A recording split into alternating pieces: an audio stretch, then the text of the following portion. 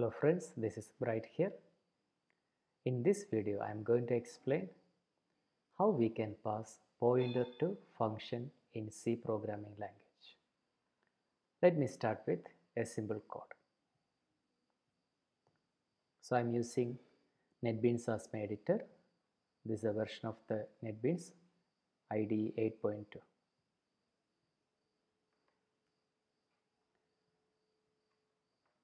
Let me create a simple function. Let us say we have a function with the return type void and function name is just fun. An empty function I created and in the main I am going to declare a variable. Let us say variable name is number. It contains a value 5 and now I am going to call this function fun. This time I want to pass this number as input to the function. So here we call function with input as number. So this number comes to here we have to receive it let us say it is received by a variable n. Now we have to see what is the type of number. The type of number is int. Then the receiving side also it should be of same type. And now I am going to increment n that is n plus plus. After that I am going to display the value. Let us say that the data is percentage d n. So here we are getting 5, the 5 is incremented, it becomes 6. And after calling this fun, I am going to display the value which is stored in number. We can use like this printf the data is percentage d slash number. So here also I am going to use slash whereas everything comes in the same line. Now let me run the program. And here you can see first the fun is called, it comes to here, then the data is 6. But you can see when we come back to the main function, the number remains same. There is no change in the value of number. The reason is when we pass number as input to n, we are passing a copy of number. We can say that we are just passing or assigning 5 to n. The actual number remains there. So for this number variable, it has its own memory and for this local variable n, it has its own memory. So what, what is there in number? It is just copied to n. So both are in different region. Now when we modify n, we are modifying only the value which is in the region named by n. So that never reflect in the number data.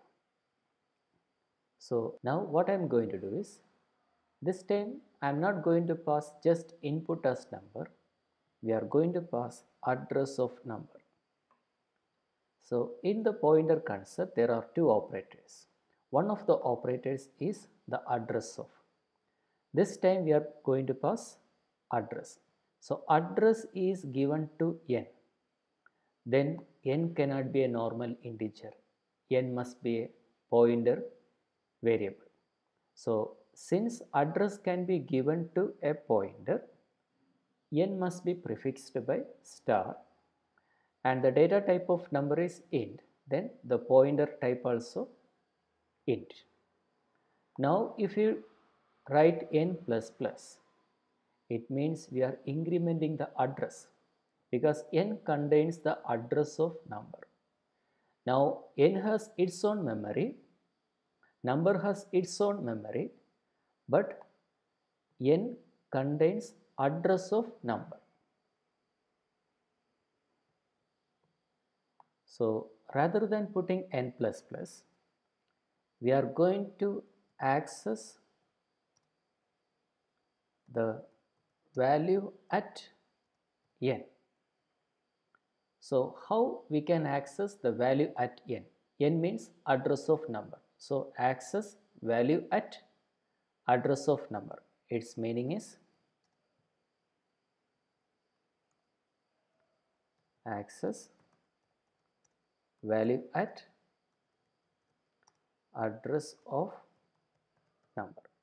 Since n contains address of number, that is replaced by here address of number.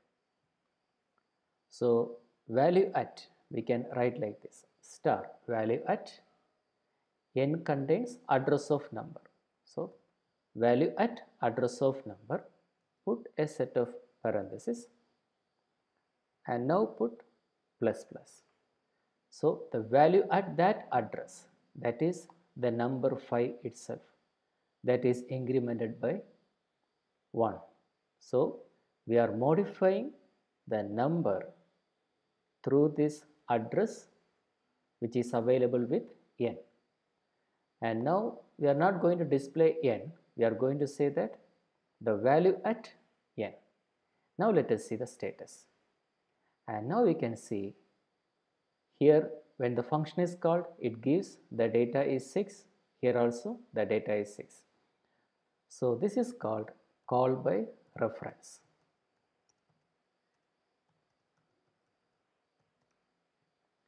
If you don't put this ampersand or and symbol, it is called call by value. And when we are passing address, we call it as call by reference. We are passing reference of number that is address of number to n. Now if we want, we can store the address in a pointer variable. So I am going to declare a pointer variable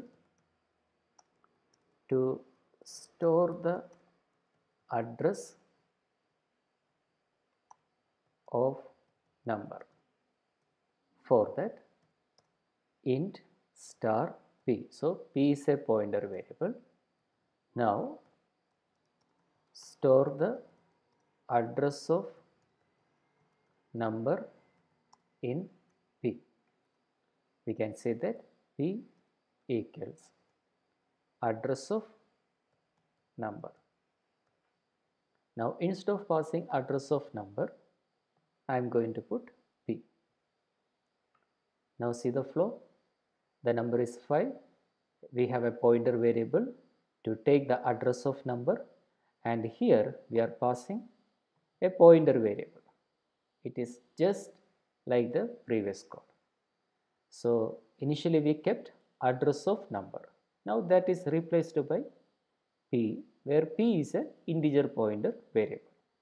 So this is also call by reference because p contains address of number and we can see that the same output we are getting. So this is about passing pointer to a function. Thank you for watching this video.